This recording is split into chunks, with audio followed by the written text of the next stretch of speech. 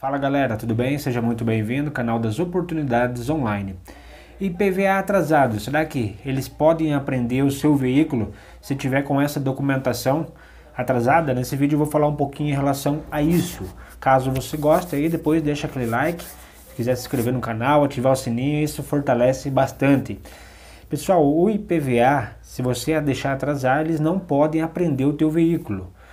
Claro que você vai pagar multa, juros, até no meu ponto de vista alto, então vai acabar saindo muito mais caro. Não é o ideal deixar é, vencer o IPVA, que normalmente é janeiro, fevereiro e março. Você pode pagar à vista ou parcelar até em três vezes. Eu vi que tem alguns estados que tem a possibilidade de pagar até no cartão de crédito. Só que se você é, não pagar o IPVA, você vai ter um probleminha, que você todo ano também tem que pagar o licenciamento.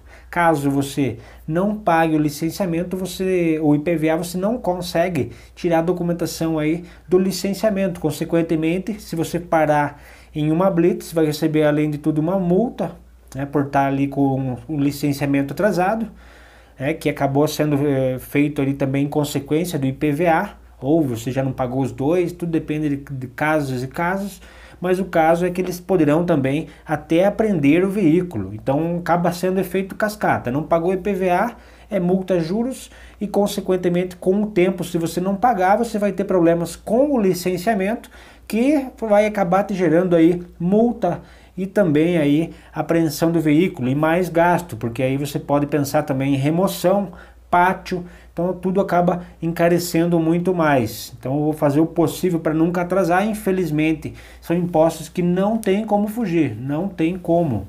Talvez você acabe deixando por um tempo, mas acaba pagando juro.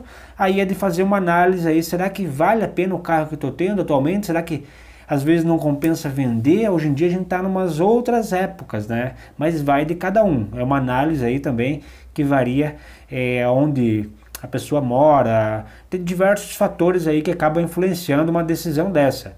Mas a partir do momento que não está conseguindo pagar é, documento, já começa a ficar ruim. Multa, juros, pode rolar apreensão. Então é isso aí, galera. Espero ter ajudado. Qualquer dúvida, deixa aí nos comentários. Se tiver uma opinião também, estamos aí. Se eu falei alguma coisa que você quiser complementar, deixa aí na, nos comentários. Um grande abraço.